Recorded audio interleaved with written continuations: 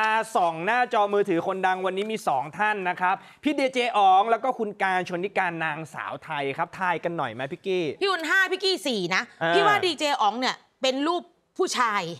ผู้ชายไหนก็ได้อ่าผู้ชายจจะเป็นรูปหล่อผู้ชายอ่ารูปหล่อ ส่วนอ่าคุณคุณการนางสาวไทยเป็นมูเตลูอ่าผมสลับเลย ผมว่าพี่อ๋องสายมูคุณการเป็นรูปตัวเอง อะอะอ๋อพี่อุ่นเชิญค่ะเชิญครับ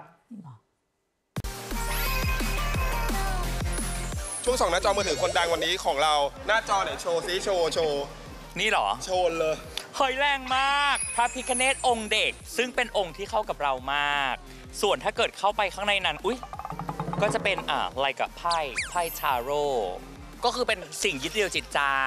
จริง ๆ มันจะใช้อะไรมันก็แล้วแต่คนแหละคือ เราก็ถือว่าเออคือเราใช้อันนี้แล้วเรา แฮปปี้เราทำทำงานแล้วเราโอเคเราก็โอเคจอย อันนี้คือเราเราไม่ค่อยเปลี่ยนเลยคือเป็นสายนี้เลย ก็ใส่นี้เลย มีเปลี่ยนด้านในบ้างแต่พระพิคเนตอะไม่ค่อยเปลี่ยน เพราะว่า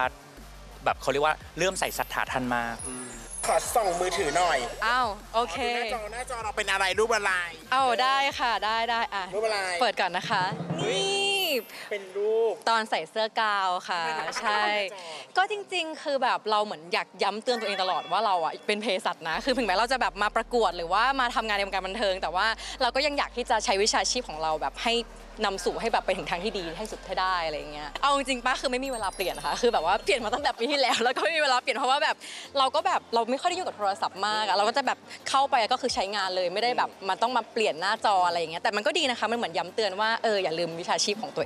เองเป็นยังไงล่ะ คุณตุ๊กกี้ ผมถูกสองท่านเลย อุ้ยพี่อุ่นตั้งถูแต่กแบบเราเป๊ะด้วย ตั้งแต่เราเราร่วมเล่นทายกันมาเนี่ย ไม่เคยมีใครทำได้นะจริง ๆ ผมรู้หมดแหละผมแกล้งตอบผิดโอ้โหพี่อุ่นเจ็ดต่อสี่นำเลย นำแบบดำแบบสามเลยนะ เพราะฉะนั้นเดี๋ยวต้องรอติดตามกันต่อไปว่าหน้าจอมือถือคนดังจะเป็นจะเป็นรูปอะไรกันบ้าง แล้วผมเออจะทายถูกอีกหรือเปล่า ปิดรายการ